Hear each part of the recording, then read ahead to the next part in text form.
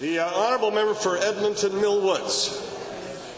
Thank you, Mr. Speaker. I rise today to pay a tribute to the Albertans of the Asian descent who have contribution have helped build our province and making it such an amazing place to live. Throughout the May, many organizations in the community across Canada will be celebrating Asian Heritage Month.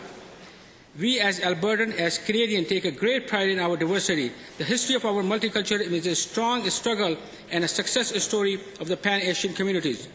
From the earliest day of the settlement to the present day, the contribution of Asian Albertans had made enormous impact across all fields of life. Asian Canadians helped build our great country working on the railway and linked Canada from coast to coast. Most, most began in the most humble circumstance, overcoming the might obstacle to achieve a recognition and a citizenship. Today, we can find the Asian Canadian in all areas of the society as an artist and as an athlete who dazzle the creativity of the dedication enriching our culture.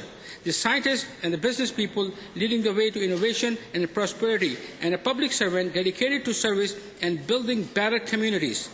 Their contribution have greatly enriched our Alberta.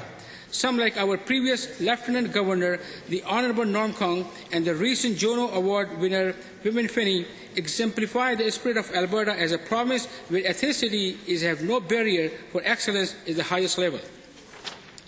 Sometimes the smallest thing and every day, you know, if we take for example, like you can find a Chinese restaurant, I think, every part of the community. And now, and for example, if you, you know, in Royal Alberta Museum currently has an exhibit called Chop Suey on the Prairies and something is so ordinary and yet undeniable a part of our culture history showcasing once again this is the land of truly stitched together by many brilliant threads. Though many of us was born here and many came from the distant land to make alberta home culture connects others and our, our communities but but culture also connects us to the shared our identity as albertan